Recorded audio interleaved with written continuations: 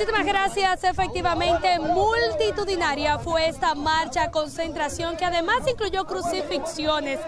Esto por parte de los comunitarios de Tavera, Baitoa y zonas aledañas, exigiendo a una sola voz agua para sus comunidades. Si no tenemos agua, aquí va a haber candela. Baitoa con letreros, cubetas vacías, la crucifixión de tres comunitarios y vociferando consignas, fue como los decenas de manifestantes mostraron su indignación por la no construcción del acueducto que por años ha mantenido sin agua a esas comunidades, que irónicamente se encuentran próximo a la presa de Taveras. Ese río ya que de nosotros los baitoeros y nos dejaron sin agua. Así que actúen rápido, construyan un acueducto o esto es de barata. Estamos exigiendo lo que nos corresponde a nosotros. Ya que nos quitaron la agua, que la tienen apresada, queremos un acueducto, un acueducto que es una necesidad. Estamos muriéndonos de sed, señor presidente. Queremos que nos pongan el presupuesto del 2019. Ya basta de esperar. Ya no hay una excusa por la cual la presidencia no asuma la responsabilidad de poner en el presupuesto 2019 ese acueducto.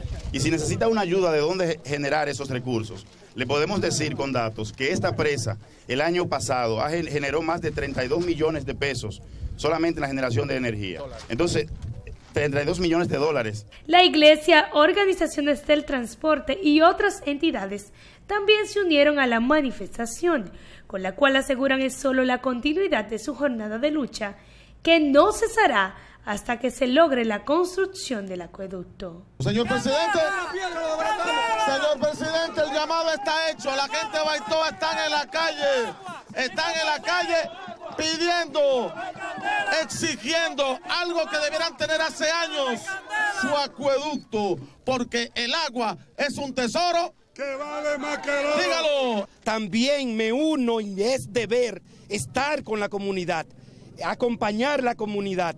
Y déjeme decirle que solamente lo va a parar el que se haga el acueducto. Solo eso para la marcha, los, las, los reclamos, las distintas manifestaciones. El presupuesto está ahí. Esa agua genera 4 millones de pesos diarios al Estado Dominicano. Que se roben a otra parte y nos den un año a nosotros. Que se lo roben como se lo están robando y que nos den agua. Es preciso resaltar que son 46 años lo que según los comunitarios llevan sin el servicio del agua, de los cuales 25 se han mantenido luchando y todavía no han conseguido una respuesta por el acueducto. Es todo lo que tengo por el momento. Vuelvo contigo a los estudios.